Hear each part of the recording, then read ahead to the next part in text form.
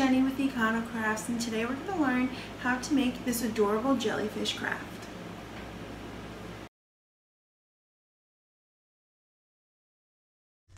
So first take your cupcake liner and take one of your pipe cleaners and poke a hole through the center of your cupcake liner.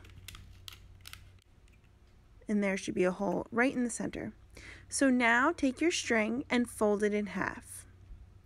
You're going to take the half that is folded with the loop and you're going to push it through the hole that we've just created in the middle of our cupcake liner.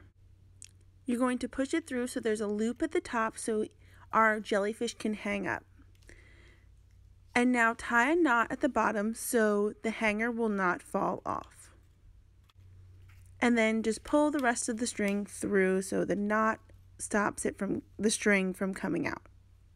Just like now we're going to make the jellyfish's tentacles. So wrap each of your pipe cleaners around your finger. Do this for all six pipe cleaners.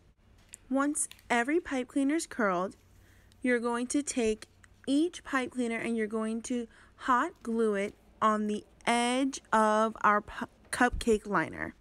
So just put a dab of hot glue on the end of the pipe cleaner and stick it to the side of our cupcake liner. Do this for all six tentacles.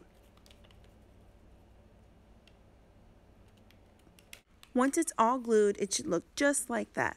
Now flip him over and we're going to add our jellyfish's eyeballs. So all you're going to do is take your googly eyes and put a tiny drop of hot glue on each one and stick them onto your cupcake liner. And now you have your adorable jellyfish craft. You can find all the supplies you'll need at econocrafts.com, link in the description below. If you enjoyed this video, please make sure to like and share to anyone who may benefit.